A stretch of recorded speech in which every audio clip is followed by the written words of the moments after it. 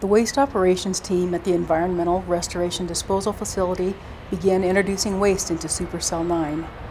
Washington Closure Hanford and subcontractors Tradewind Services and Delher Industries completed construction of Supercells 9 and 10 ahead of schedule and under budget. Supercell 10 is scheduled to begin accepting waste in March. Supercell construction is part of a $100 million expansion and upgrade of ERDF funded by the American Recovery and Reinvestment Act.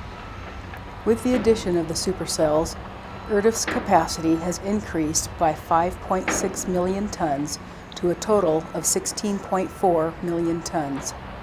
The facility, which now covers about the same area as 52 football fields, contains nearly 11 million tons of waste.